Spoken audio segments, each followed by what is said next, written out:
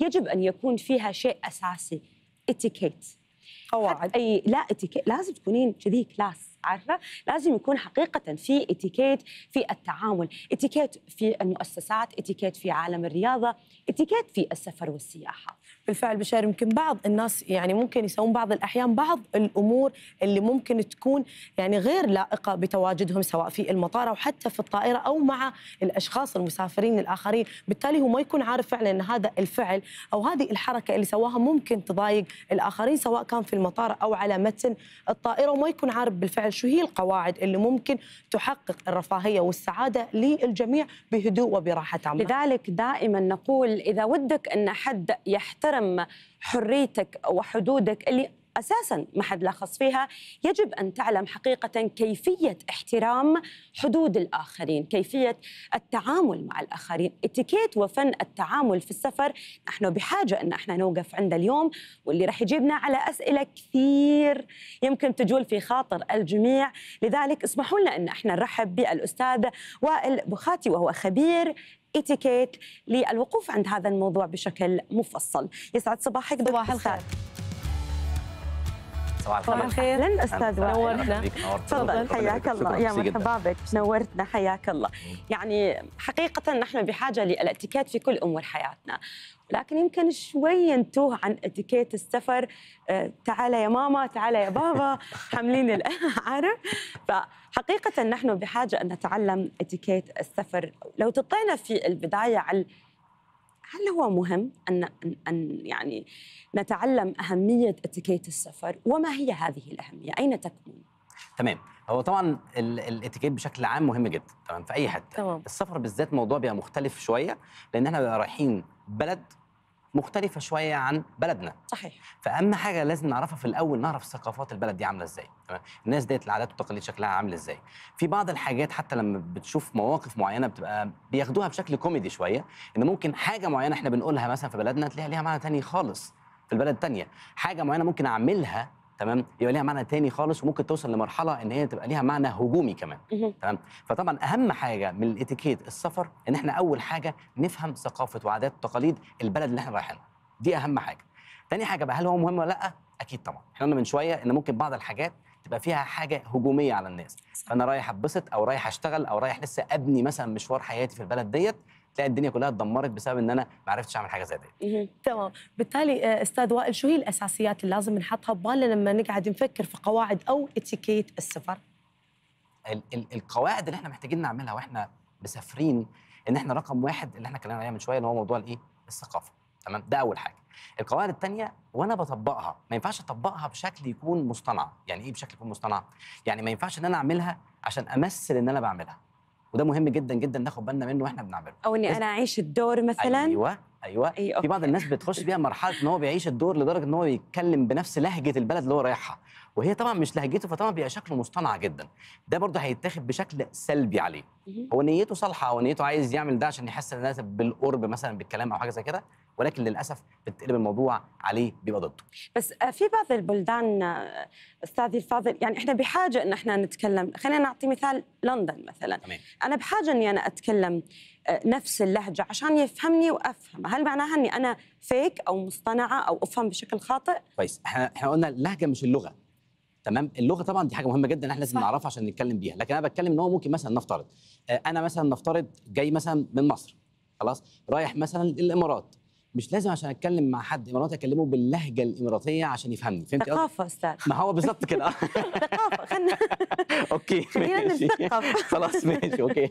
لو هي كده ده موضوع تاني. بس ساعات بتطلع بتبقى مصطنعة شوية فبتبقى fake. آه بتبقى ممكن عايز تعملها مثلا بتهريج زي ساعات برضه لما حد يقابلني مثلا في المطار يعرف إن أنا مصري يقول لي إزيك يا باشا مثلا بناخدها بشكل بسيط إيه. لكن لما الموضوع بيطول ممكن الموضوع يوصل لمرحلة ما تبقاش إيه ممكن تعمل تحبب يعني نفس ما حضرتك بالضبط. الحين ذكرت مثلا لما أنا أروح مثلا جمهورية مصر العربية الله يسعدهم أنتم شعب يعني سعيد جدا دائما في كل جميل. الأوقات الحمد لله. فلما ندخل المطار مثلا أهلا يا ست هانم نورتي عارف هاي فعليا تعطي عند المسافر آه، آه، ردة فعل جميلة يعني أنت حتى لو كنت معصب غصبا عنك راح تصير لبق. غصبا عنك راح تصير class غصبا عنك راح تصير اتيكيت. بالظبط هو ده لازم يبقى برضه في المقابل. بس إحنا عايزين نعمل حاجة. مش لازم أنا أبقى كده لما اللي قدامي يعمل ده. يعني تمام. متوقع اللي قدامي لما يعمل لي ده أنا هبقى برد بنفس الطريقة كويس. لا أنت لازم تبقى من الأول رايح ومجهز نفسك إن أنا هتعامل في الحدود دي. لأن برضو عايزين نقول على حاجة في السفر نفسه بيبقى في برضو الاجراءات ممكن تبقى مختلفة بناء على البلاد اللي إحنا رايحينها. فلازم نبقى عارفينها من قبليها. طب لو ما عرفناهاش وواجهتنا يبقى لازم برضو نبقى جاهزين إن إحنا نعمل إيه؟ نتأقلم بسرعة. أنت عارف شو أول مشكلة؟ آه. موظفين المطار. ليه بس؟ إحنا يعني آه، في بعض الناس يمكن ما عندها طولة بال ما نعم. عندها صبر. يمكن بسم الله عليهم معاهم عشر أطفال ف- أو خمس أطفال أو سبع أطفال. صحيح. وعملية إجراءات أو تخليص إجراءات السفر قد تاخذ مثلا صح. وقت كبير. فبالذات يعني خلينا عارف أول ما أدخل المطار هي موظف المطار. فبالتالي كيف ممكن نتعامل أو ما هو اتيكيت التعامل مع موظف المطار لتخليص إجراءاتنا؟ تمام. تاني هنرجع تاني. موظف المطار هو بيمثل ثقافة المكان اللي هو فيه. على فكرة ممكن يكون حد مثلا ايا كان الموظف ده موجود مكانه فين في المطار ممكن يكون جنسيته من جنسية البلد اللي أنت رايحها أو ممكن تكون جنسية تانية. صحيح. بس في جميع الأحوال هو بيمثل ثقافة البلد دي. رقم اتنين عنده شوية قواعد وأسس لازم يمشي عليها وقانون. فإحنا لازم الحاجات دي كلها نمشي عليها ونعملها بالطريقة اللي هم عايزينها مش لا اللي لا. موظف آه بالظبط. يطبق القانون. بالظبط كده. فهو لو قال لي حاجة مثلا خلاص نمشي. أنا عارف. إن أيوه بالظبط. أنا أنا أنا عندي مشاكل وجاي معايا زي ما حضرتك قلت كده أطفال كتير وشنط كتير. الشنط على فكرة أسوأ من الأطفال. أيوه. ممكن تضيع. بالظبط خصوصا كده في حالة العودة. يعني هنروح بشنطتين نرجع ب 20 ده حقيقي. أي. وغير كده كمان بعض المطارات ما شاء الله بتبقى حجمها كبير جدا. فبتلاقيك ماشي مسافة طويلة وتركب مثلا مترو عشان تروح للمكان. فطبعا المسافر بيجهد صح. فلما بيجي له بقى موقف زي ده غصب عنه بتلاقيه إيه؟ خلاص انفجر بقى. لا لا هو كفاية بقى عليا الضغط ده كله. كيف يكتم؟ فهو لازم يعمل كده؟ إن هو يفصل. يعني إيه يفصل؟ ما هو الموظف ده ملوش دعوة باللي حصل له. يمشي الإجراءات الموجودة عنده. الإجراء. هو عايز يمشي الإجراءات مش أكتر من كده. والمساحة اللي أنت شايفها أو الحاجة دي ما هو ده في الآخر لراحتك لو المطار ده كان أصغر كنت أنت هتبقى متضايق. مم. افهم الموضوع كويس افهم إن الشخص ده ملوش علاقة وهو بيطبق اللي هو عايزه. انت لو مكانه هتعمل بالظبط اللي هو عمله. هو بيكلمك بطريقة كويسة فانت اعمل اللي عليك وخلاص. فعلا. بعد ما نخلص من المطار نتوجه للطيارة. بعض المشاكل أو بعض الأمور آه، أستاذ وائل ممكن تحدث في الطيارة مثل شخص بعد ما حجز حاب إنه يغير المقعد، كيف ممكن يعني يتم هذا الأمر بدون إحداث مشاكل بيننا وبين المسافرين الآخرين؟ تمام. دي من الاكثر حاجات المشهورة جدا. آه، ال- ال- المشكلة الأساسية اللي عند بعض الناس بيبقى رايح عنده توقع إن أنا هرضى إن أنا أقوم. مع العلم إن في بعض الأشخاص وأنا واحد من الناس ديت قبل ما أسافر لازم أكون متأكد من المكان اللي أنا بحب أقعد فيه. بيبقى مكان معين ليه مميزات تخصني أنا. تمام؟ فطبيعي لما حد يطلب مني حاجة زي دي مش هبقى موافق. تمام؟ فطبيعي جدا إن أنا بقول له معلش أنا آسف مش هينفع أتحرك من هنا. طيب لو كان الشخص دوت عنده ظروف خاصة مثلا كبير في السن مثلا ولا حاجة سيدة مثلا حد عايز يكون قريب من أسرته أكيد أنا شخصيا حتى لو ده هيبقى عكس راحتي هقوم طبعا وأقعده. لكن في بعض الناس تبقى عايزة تبقى هي تقعد في المكان ده عشان عاجبها وعايزه المكان ده تمام؟ طب ما أنا كان مشكلتي كانت في الأول إن أنا برضه كنت عايز المكان ده. فلازم الاثنين يتفاهموا. الحمد لله إن إحنا سيدات عشان أنتم دائما تقومون عشان يعطونا الأولوية. عشان إحنا دائما أنتم تقومون وتقعدون. بس في طرق أخرى قد يتبعها المسافرين أستاذ وائل. أيوه. يعني منها أنا صراحة أتبعها. لما تق في حال إقلاع الطائرة أقوم أسوي كذي عارف لفة في الطيارة. أوكي. فأشوف وين في أماكن ما فيها حد اللي المضيف مثلا ممكن يقول لي إن أنا آسف مثلا ما أقدر أقعد حد الحين خلينا مثلا نقلع بعدين نتصرف أدور المكان الفاضي وأروح أقعد. تمام. هل تعتبر هذه الأمور من اتيكيت السفر؟ ولا هل يحق لي أنا كمسافر بعد إقلاع الطائرة وجلوس كل المسافرين في أماكنهم اللي هم اختاروها؟ وأختار المكان اللي يريحني إني أنا خرجت عن اتيكيت اختيار مقعد طائرة؟ طيب. إن إحنا نغير المكان ما فيهاش مشكلة خالص. بس تمام. هنغيره إزاي هو ده الموضوع. يعني حضرتك لما قلتي إن أنا هقوم أشوف المكان الفاضي وأقعد. لا لو عايزين نعمل ده لازم نقول المضيفة أو المضيف. ليه؟ لأن already كده كده. اسم حضرتك بالكرسي ده برقمه بيجي معين الأكل مثلا معين. لو أنت حضرتك طالبة أكل معين ينزل لك في طيارة في بعض شركات الطيران بيبقى ممكن تقدري إن أنت تحددي نوع الأكل اللي يجي لك مم. هتبتدي هي بقى إيه؟ تدور عليكي. قبل ما تقلع أصلا. آه بالظبط. هو يبتدي يدور عليكي إن الكرسي ده كان فيه فلان قاعد عليه. فهو راح فين؟ مش لاقينه على الأكل راح أيوة. أرجع. دي حلوة دي. أرجع آكل وبعدين أقعد قدام أرجع على. الأكل. لا فهو إن إحنا نقول لهم وهم يعني بصراحة بيبقوا متعاونين جدا. وهو. عارف برضه لأن ممكن يكون المكان الفاضي دوت ممكن يكون الشخص اللي كان موجود ده آه، دخل الحمام مثلا. صح. وبيرجع أو بيرجع. تاني فطبعا هيبقى الشكل الموضوع مش لطيف خالص. لازم نقدر مهنتهم لأنهم فعليا يتعبون كم لا ده هم بيبقوا مضغوطين جدا جدا إيه. جدا المشكلة بقى إن أنا ممكن أقوم وأروح أشوف المكان دوت وأقعد وبعدين أكتشف إن هو بتاع حد. فاقوم وارجع ما الاقيش الكرسي بتاعي. راحت. فراحت كده فدي المشكلة. عشان كده نقول يبقى أحسن طبعا. تمام. هذا بما يخص آه، الأماكن. لو بنتكلم أستاذ وائل عن المساحة المحددة يعني في ناس وهي قاعدة تمشي بالجنطة في الممر ممكن ما تراعي الآخرين الموجودين سواء الشخص اللي قدامها أو وراها أو اللي قاعدين على آه، الكراسي أو المقاعد الموجودة في الطائرة. مظبوط. كيف نراعي هذه الحدود وهذه المسافات أو المساحات المحدودة لنا في الطائرة؟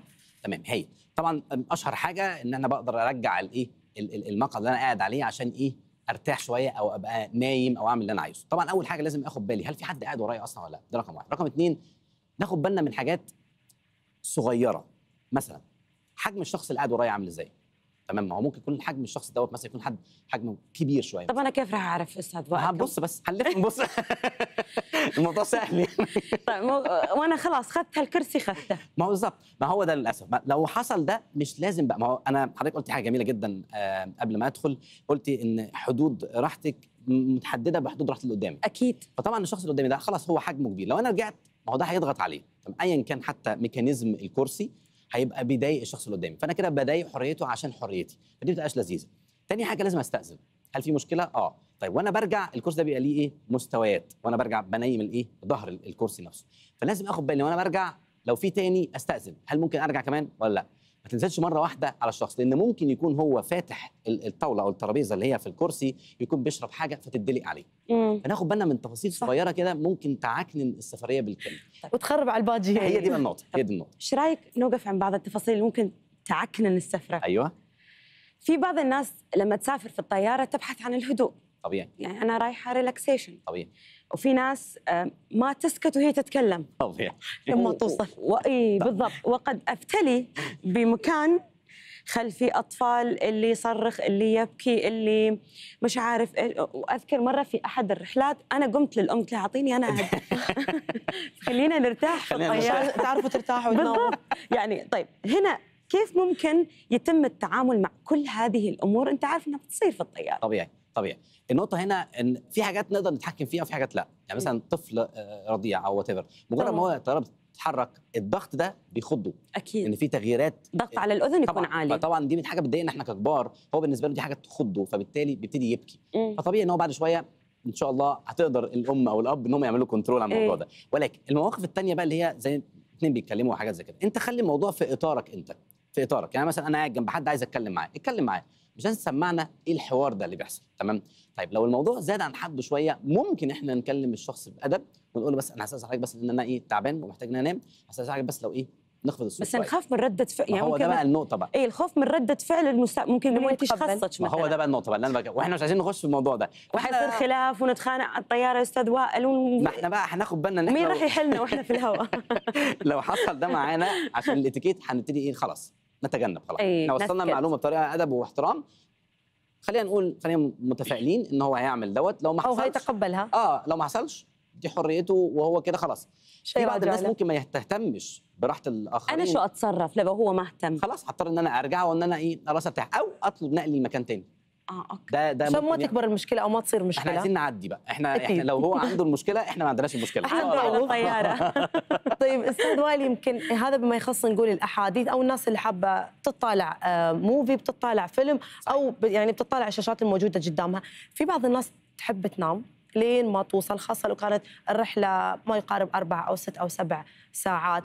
كيف ممكن ينام بدون ما يسبب أيضا يمكن نقول ضيق ضيق المكان للآخرين أو الإزعاج الاخرين في ناس على طول تبى تنام بترد الكرسي طبيعي. وما بتراعي إن في أشخاص وراها طبيعي آه، ردة الكرسي دوت زائد حاجة تانية كمان ساعات بعض الناس لما بيكون ال- ال- ال- ساعات بعض الطيارات بيبقى فيها ثلاث كراسي صح؟ صح. أو أربعة تمام فممكن يكون هو قاعد على الكرسي والمقعد الأخير في حد قاعد عليه اللي في النص فاضي يروح. رافع الإيه؟ المسند ويبتدي ينام شخصيا بالعرض تمام؟ أنت بتتكلم عننا شكلك يا أستاذ هاي ولا شو الموضوع؟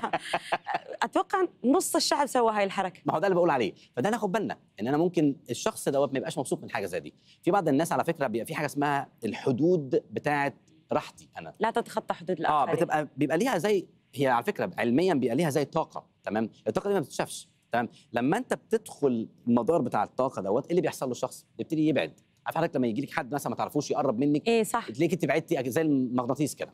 ولو حد تاني تعرفيه كويس جدا دخل نفس المنطقة دي بتعملي إيه؟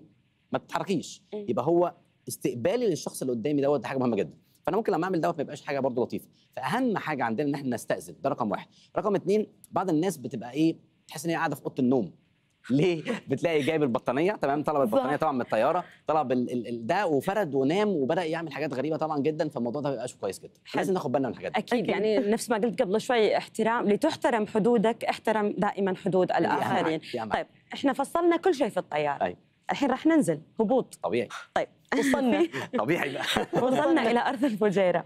بالتالي يجب أن يكون عملية الهبوط من الطيارة بشكل مطلوب أو بإتيكيت وفن وذوق. في. بعض الناس يمكن تتسابق إلى طبيعي. البوابة. توقف قبل ما آه، نهبط أصلا. فك ال seat belt قبل ما الطيارة توصل للمدرج بالشكل الصحيح والمطلوب. يعني يمكن ينسون إن هذا كله موجود لامان وسلامتهم. بالظبط ما هي طرق آه، الهبوط إحنا ما ندعو في الهبوط الطيار يهبط وإحنا ننزل. صح. طريقة النزول بالشكل الصحيح وبإتيكيت وفن دون إزعاج الآخرين. تمام.